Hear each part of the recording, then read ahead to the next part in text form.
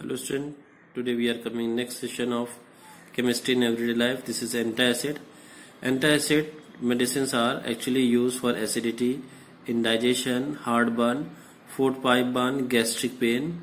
And antacid medicine are also called gastrointestinal drugs. They are two types. First water soluble and second is a water insoluble. Water soluble example is sodium bicarbonate and sodium citrate. It is coming in a name of eno, etc. The second one is the water insoluble. This is magnesium and aluminum hydroxide. It is coming in the name of gelusil and Digene. The next antacid is ranitidine and Aciloc.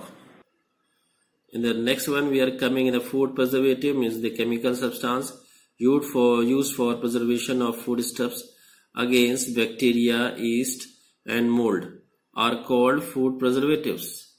Common food preservatives are sodium benzoate, C6H5COONA, used in soft drinks. Second, sodium and calcium propionate. This example is CS3CS2COONA, used in a bread and cakes, inhibit the growth of bacteria. After that, we are coming the next one. This is artificial sweetening agent.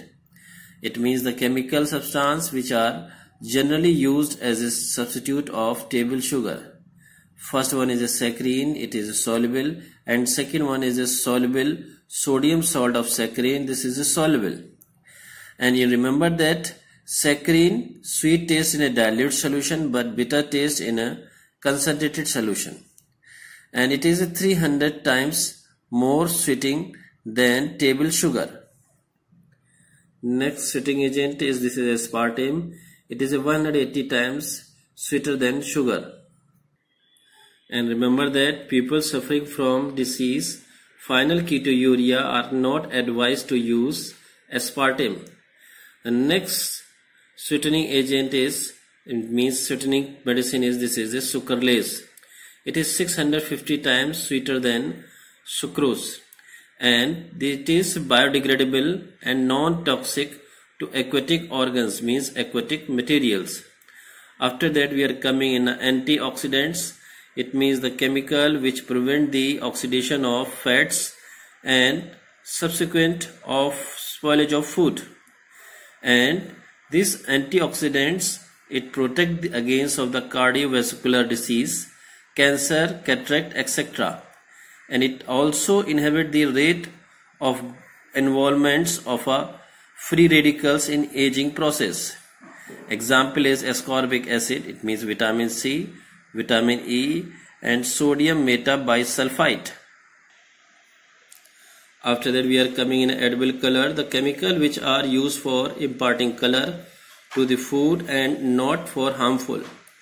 There are two type natural. First one is saffron color means orange yellow color.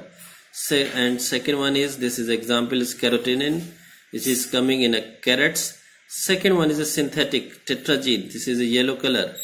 And this is a catronism uh, catroism this is a fast red. Next flavoring agent means the chemical which are used for enhance the flavor of food. Ethyl acetate. It is it has a fruity smell. Also amyl acetate. This is a banana smell octyl acetate this is an orange smell.